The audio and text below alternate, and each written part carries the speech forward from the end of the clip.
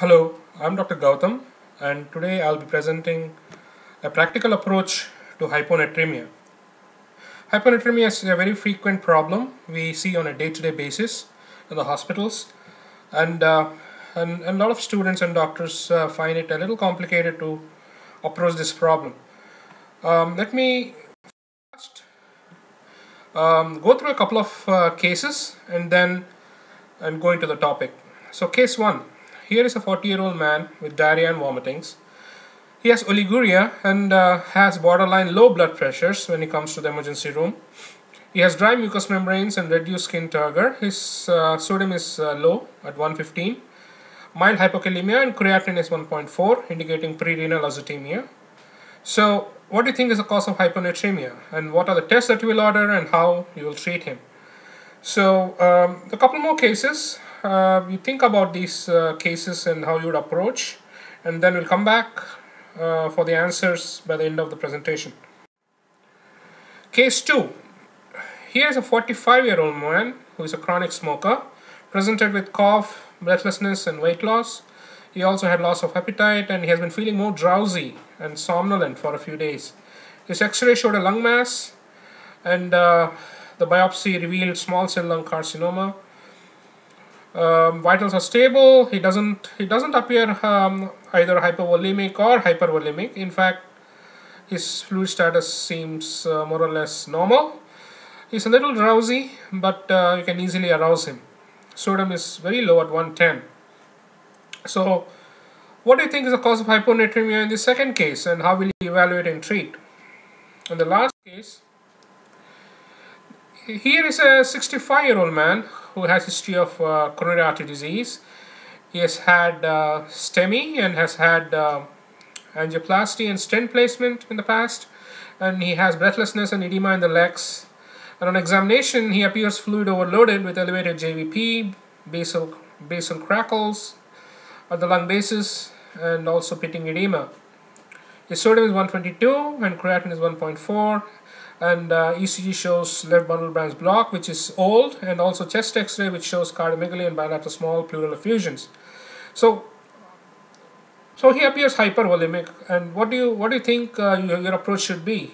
And here are uh, five options you have. Uh, which one would you pick? So while you think about these three cases we'll uh, briefly go through different causes and how you will diagnose and manage so hyponatremia is defined as uh, sodium less than 135 milliequivalents per liter, the normal being 135 to 145. And this is uh, the most common electrolyte, electrolyte abnormality in the hospitalized patients. We, we come across this problem on a day-to-day -day basis for, for quite a significant number of our patients. Most causes of hyponatremia reflects water imbalance when when when the, the, the title suggests hyponatremia means probably sodium is less but that is not the case. It is actually a problem with water handling or water imbalance and not sodium imbalance. So so there is no i mean that it doesn't automatically mean that the total sodium or total body water has changed. It's it's more it's mostly um, a, a problem with handling of uh, water, I mean excess water in most of the cases. And because water is handled by the antidiuretic hormone, so this hormone has a primary role in the pathophysiology of uh, this condition. So basically, the way patient's volume status is very important when you're trying to approach this problem. Um, you have to um, you have to classify the patient's volume status as uh, hypovolemic, euvolemic, or hypervolemic, and this you will get from history and clinical exam. You should also check the serum osmolality, which is very important. And as I just said in the previous slide, hyponatremia reflects excess water relative to sodium rather than sodium deficiency. And what happens in the hospitalized patients, they drink a lot of water, then many of them are on 5% dextrose or D5 water, which is basically water. It doesn't have any osmolality is zero in, in 5% dextrose or D5W. So, which is a hypertonic fluid, so you should avoid giving 5% dextrose or D5W for these patients. So um, this is what I made up from what I can understand or gather from the uh, pathophysiology of uh, hyponatremia. Um, on the left is hypovolemic hyponatremia. As you can see, there is loss of both sodium and water here, but the loss of sodium is a little more compared to water. Or, or, or if, you, if, if you take it other way, there is loss of both sodium and water, but the patient is drinking only water, so there is relative water excess. Another thing is, whenever there is hypovolemia, ADH is secreted and that retains more water. So deficit of sodium and water is replaced by only water. So there is a relative excess of water on the left side. So that is hypovolemic hyponatremia. The commonest cause being uh, diarrhea or gastrointestinal losses. In the middle, in the middle, we have euvolemic hyponatremia, where the sodium content is normal. Sodium is content is normal, but there is excess water retention, and this is mostly due to um, secretion of inappropriate secretion of ADH hormone, antidiuretic hormone. Because of excess secretion of ADH hormone, you have excess of water related to sodium, uh, but the patient's volume status is is, is normal.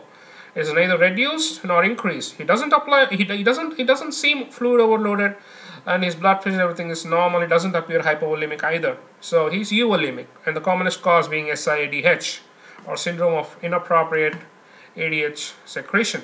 So this one I'm talking about SIADH. And on the right side, you have hypervolemic hyponatremia, where the patient is fluid overloaded. The common causes being congestive heart failure, kidney failure, that is uh, chronic renal failure, nephrotic syndrome, and cirrhosis of liver. All these conditions can cause fluid overload where there is retention of both sodium and water but water is in relative excess compared to sodium, and that's the reason why there is hyponatremia. So uh, this is the most important slide. This is the most important slide in this presentation. So try to please uh, remember the, uh, the, the, the, the, basic conditions and the outline of this, uh, of this flowchart. So um, initially we check serum osmolality and uh, the most common cause here is hypotonic hyponatremia. Okay, um, and uh, this is further classified into hypovolemic, euvolemic, and hypervolemic. Okay, so in hypovolemic, as we just discussed, you have dehydration due to gastrointestinal loss, or it could be renal loss. In gastrointestinal or extrarenal loss, you have urine sodium less than 10. Why? Because whenever there is loss loss of uh, salt and water, the kidneys try to preserve the sodium and less of sodium is seen in the urine. So less of sodium is thrown out, more of sodium is reabsorbed to maintain the intravascular volume. So that's why urine sodium is less. And here you have urine sodium is more whenever there is renal salt loss, mostly due to diuretics. And then the middle category, euvolemic hyponatremia, where the where where there is water excess due to inappropriate, inappropriate ADH secretion, which is the most common cause of euvolemic hyponatremia and there are some other conditions which we'll come back to. And then there is hypervolemic hyponatremia, where you where you see uh, fluid overload, uh, where, where there is fluid overload in these conditions, these four conditions which I just discussed, congestive heart failure, cirrhosis, nephrotic syndrome, and advanced CKD. And then, although hypotonic hyponatremia is the most common, we should not forget that other two categories which sometimes you can come across.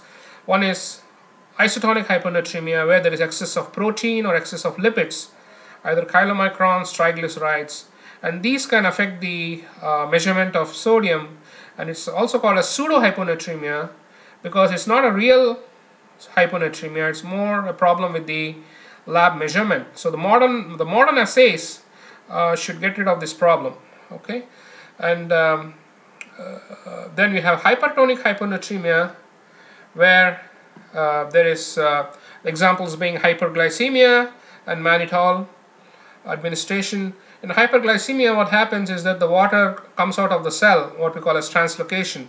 So when there is uh, increased uh, blood glucose levels in the serum or plasma, the water comes out from into, from the cell into the into the into the into the interstitium. Uh, same thing happens when you give mannitol. So as a result, you have hypertonic hyponatremia. And so there is a, uh, whenever you have very severe hyperglycemia, you may see that the sodium level is a little on the lower side, it's low, and we'll come back to that uh, as well in the, in, in, in the next few slides. Um, so initially a, a, brief mention about isotonic hyponatremia again which uh, we just went over. So the, here the lipids and proteins do not affect osmolality but they do measure they do affect sometimes with measurement of serum sodium whereas the newer assays should not have this problem.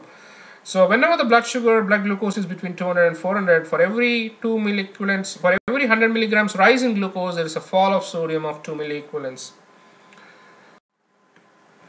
Then we come to hypotonic hyponatremia, which I said was the most common cause of hyponatremia. As you, as you can see, this is the formula for serum osmolality and here you have 2 into sodium plus glucose plus BUN, glucose by 18 plus BUN by 2.8 milligrams per deciliter. So when the sodium goes down, the osmolality also goes down. So here you have hypotonic hyponatremia, so um, when there is hypotonicity, serum osmolality is low because of low sodium. So sodium affects the tonicity of the of the of the plasma. So again, hypotonic hyponatremia can be divided into hypovolemic, euvolemic, and hypervolemic. I think you'll be hearing these terms again and again throughout this presentation, so please bear with me. So uh, this is kind of a repetition of what we did from with that flow chart hypovolemic hyponatremia due to renal or extrarenal loss, reduced intravascular volume, stimulates the secretion of ADH by pituitary, which causes free water retention from hypotonic fluid replacement. So a patient with diarrhea who is drinking only water or is given 5% dextrose will develop this. That's the reason why they should be given normal saline and not and not 5% dextrose or uh, or plain water or free water. So here what what's happening here is that the losses of water and salt are replaced only by water so that's the reason why they have hyponatremia. And then euvolemic hyponatremia it has the broadest differential diagnosis and most of the causes uh, they exert their effects through their through their action on ADH hormone. So um, hypothyroidism, you have to rule out hypothyroidism adrenal insufficiency. Medications is a big cause, and then SIDH. We'll come to it in a greater detail in a little while. Pr primary polydysmia, I'm sorry, primary polydipsia, where you have increased water water ingestion, like say more than 10 liters a day, or excess of uh, beer intake or other causes. Uh, we go we won't go into the details here. Thiazide diuretics is a very common cause of hyponatremia. So please, please check a, take a good drug history when you're when you're dealing with a patient with hyponatremia because uh, because drugs are a, such a, are a culprit in most of the cases, many of the cases that I see. And many of them are hypertensives taking hydrochlorothiazide for their hypertension and they're commonly present with hyponatremia. So also you see this in uh, post-operative patients um, uh, like um, because why, why do you see hyponatremia so commonly in uh, post-operative patients because pain is a potent stimulator of ADH uh, hormone um, not only pain but nausea. And then this is a review of uh, hypertonic, uh, sorry, I'm sorry, hypervolemic hypertonic hyponatremia, which you see in fluid overloaded conditions. Here, in what happens in congestive heart failure is that because of poor cardiac output, there is uh, loss of uh, effective circulating volume, so the kidneys don't don't have adequate perfusion. So what happens? There is increased activity of the renin-angiotensin system and aldosterone is also secreted and also ADH is also secreted. All these um, lead to water retention because antidiuretic hormone secretion it leads to water water absorption and retention. So here there is a although the patient appears fluid overloaded because of the poor cardiac output or other reasons there is a low circulating volume which causes this problem. So um, this is a flowchart uh, where you see the same things which we just discussed. So uh, the last step, urine sodium, if it is less than 20 or 30, it is uh, extra-renal losses like for example GI losses. If more than urine sodium more than 30 is renal losses. And urine osmolarity is also a very important test and uh, which is uh, which is low in uh, psychogenic polydipsia because they they excrete a very they put out a dilute urine because they are drinking tons and tons of water.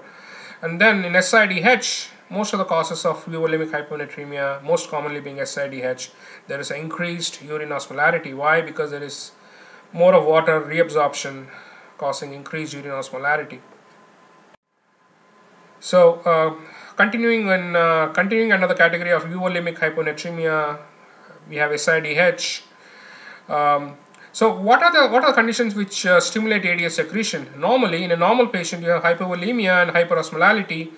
In any normal patient, uh, this would this should this, these are the triggers for secretion of ADH.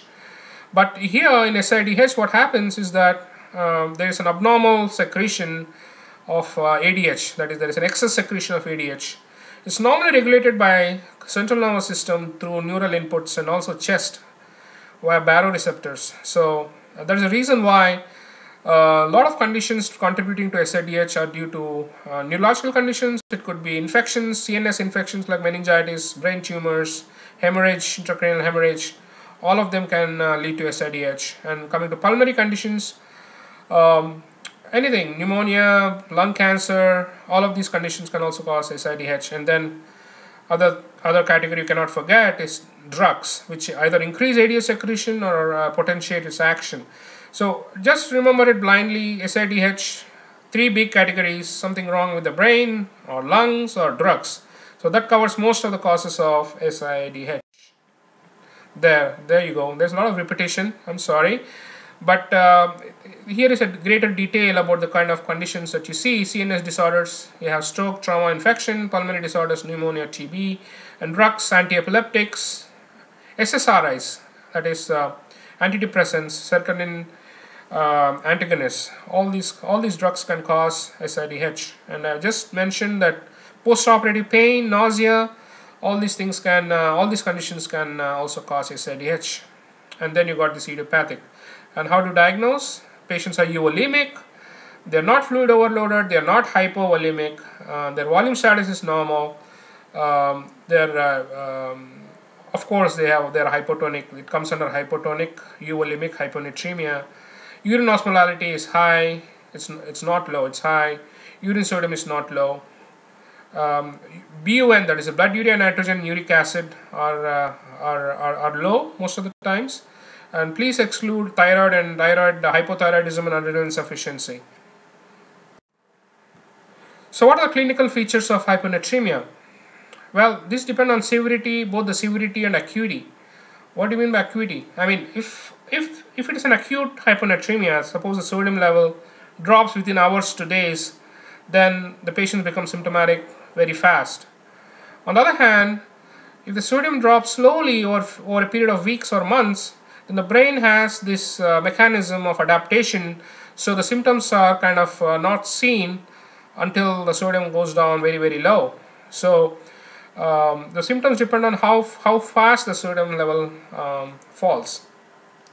Initially i mean 130 to 135 you don't have any symptoms.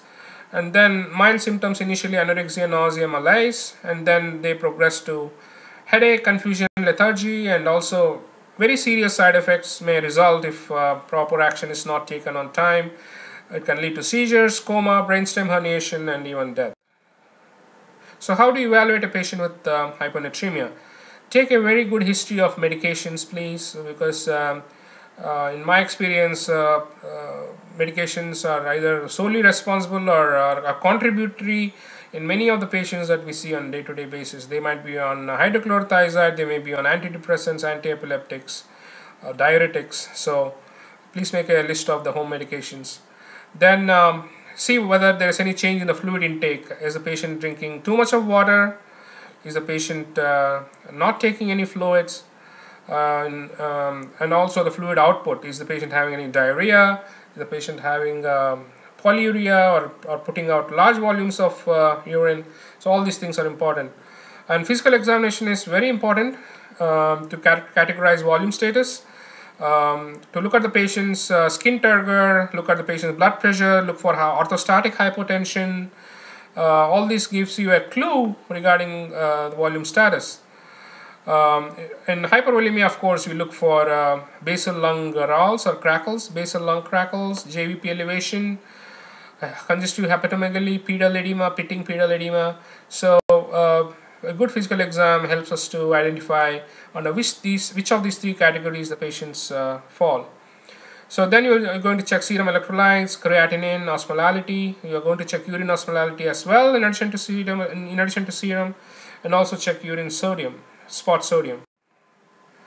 So management depends on the rate of development of hyponatremia and also severity. So the, if the hyponatremia develops quickly over hours to days, if it's uncorrected, then it can cause cerebral edema. So that's the reason why you correct it rapidly. So a lot of times if the patient has any neurological symptoms, then we use 3% saline. Um, don't don't don't use 3% saline uh, in, uh, in, in asymptomatic patients. Um, but you should use it if it is uh, acute hyponatremia and the patient has some neurological symptoms. There is a formula for uh, how much 3% saline to use and I'll be covering it in one of my subsequent lectures. Um, what are the principles of treatment? Correct the underlying cause because basically the cost, the treatment depends on the cause, right? Um, so if hypovolemic hyponatremia, the treatment is completely different when you compare it to euvolemic or hypervolemic. So look for presenting symptoms, find out whether it's acute or chronic, look for state of hydration and correct the, both sodium and water at the same rate, I mean treat it as at the same rate as they were lost. In acute hyponatremia, treat it uh, rapidly, whereas in chronic hyponatremia, which has developed over weeks to months, please be very slow while, while correcting hyponatremia. So, as I, as I just said, rapid correction is very dangerous in a patient with, with a chronic hyponatremia because then you have this uh, complication, neurological complication called central pontine myelinolysis or uh, more recently it is called cerebral osmol osmotic demyelination which is a preventable complication in, in, in, most of the conditions if you are careful and uh, and uh, monitor the patient closely. So um, we'll come to we'll, we'll come to the details of this condition in a little while. So 3% saline should not exceed 0.5 ml per kg body weight per hour um, not exceeding 30 to 35 ml per hour. And uh, serum sodium should not go up more than 8 to 10 milliequivalents in the first 24 hours. Um, actually the latest guidelines say that in patient with chronic hyponatremia the, the, the goal should be only 6 to 8 in, in, in, in 24 hours. Um, so we have to monitor sodium frequently uh, several times a day and uh, make sure it's not going up too, too fast so um, these both remain both both mean the same central pontine central pontine myelinolysis that is CPM. This was described initially uh, way back in 1959 and um, what do you see? You have spastic quadriplegia, pseudobulbar palsy and encephalop encephalopathy with demyelination seen in pons. And uh, this this condition is irreversible and catastrophic. So um, so prevention is uh, is better um, so take care while uh, while correcting sodium. So I was just telling you that the treatment depends on the cause. So on the left side you have hypovolemic hyponatremia where you treat with isotonic saline and then you got water excess uh, relative water excess in euvolemia in euvolemic hyponatremia that is in SIDH where you have to restrict fluids okay? And then you got hypervolemic hyponatremia which you see in CHF and uh, advanced chronic kidney disease where also you restrict sodium in water and these people may need uh, diuretics in fact and sometimes rarely even dialysis if, if they don't respond to diuretics. So again, um, re repeating what I just said, hypovolemic hyponatremia, give IV normal saline, don't give hypotonic fluids, please don't give D5 water or 5% uh, dextrose. In dilutional hyponatremia, which is uh, seen in SIDH, you will restrict the fluids to one liter, and if uh, and if if that's not enough, you will restrict it further. And and please stop the offending drug, whether it is antiepileptic or antidepressant or, thi or thiazide diuretic, whatever. And if they don't respond to this, you can give demeclocycline, which inhibits the action of ADH. Um, and vasopressin antagonists have come up in the last few years, and you can use this. Uh, vasopressin is antagonist is that is uh, nothing but ADH antagonists uh, which uh, neutralize or uh, counteract the effects of ADH hormone. You can use this in euvolemic or hypervolemic hyponatremia. And tolvaptan is an oral preparation available. You can start at 15 milligrams once daily. You can increase it to 30 mg or even 60 milligrams um, depending on the response.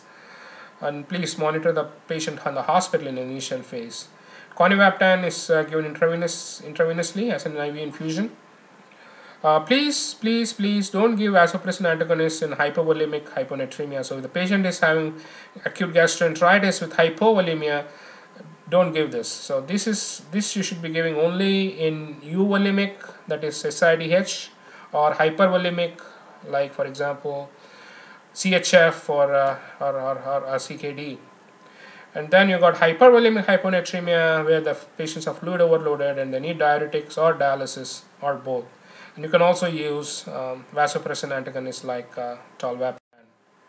So coming back to our three cases which uh, we started our uh, presentation with. So remember the first case, the patient had uh, what looks like an acute gastroenteritis and he also is, appears dry, right? Volume depleted, blood pressure is a little low. So Yes, so the treatment would be normal saline. I'm sure you guessed it right. All the all the three all the three cases by now. So what test would you would you order? I mean, it's pretty obvious. You don't need any tests, but if you want to order some tests, you probably order uh, serum osmolality and urine sodium. Right, urine sodium will be low in a patient with uh, hypovolemic hyponatremia due to extrarenal cause, that is uh, gastrointestinal loss. Okay. This is a second case uh, which, uh, which um, I initially mentioned in the beginning. So this patient uh, has a lung malignancy, small cell lung cancer, which is a special category where there is a autonomous production of ADH. Large amounts of, uh, I mean, um, uh, large amounts of ADH hormone is secreted autonomously uh, because it's a paraneoplastic syndrome, small cell lung cancer, and um, that causes euvolemic hyponatremia why do you want to give 3% saline? Because patient is symptomatic, he's neurologically, he's somnolent. So initially you would give 3% saline. Make sure you don't, you don't, make sure you don't uh, give it uh, too fast because it appears like uh, um, subacute or chronic presentation. Um, so, um, so, uh, so, so you would want to um, increase the sodium level slowly. You would fluid restrict the patient as well because it is SIDH and also you can use tolvaptan. The last case, this is a patient with uh, what looks like ischemic cardiomyopathy, congestive heart patient with congestive heart failure with significant past cardiac history. Uh, this patient appears fluid overloaded and uh, the treatment would be, of course you don't want to give saline, it's already fluid overloaded. You don't want to give 3% saline because it's very dangerous in patients with hypervolemic hyponatremia. So please, please, please don't give 3% saline ever in patients with hypervolemia. Okay, so you have to fluid restrict the patients. You can give diuretics, Lasix, and also um, low sodium diet, um, and also vasopressin antagonists like tolvaptan. Um, if they don't respond, then a few patients may even uh, need dialysis. But uh, um, so here the treatment is fluid restriction diuretics. So what is the take-home message? The take-home message um, is that, that the volume status should be determined for the patient. Uh, serum osmolality should be checked. And uh, please remember that hyponatremia means water excess relative to sodium and doesn't mean that the total sodium is low. Okay and uh, treatment depends on the cause as we just discussed. And um, um, chronic hyponatremia please correct the sodium level slowly to prevent neurological complications. Thank you for patient listening. Um, you can send your feedback to this email conceptsmedicine at gmail.com and do visit uh, my facebook page for where i discuss some interesting clinical cases and some videos as well. Thank you very much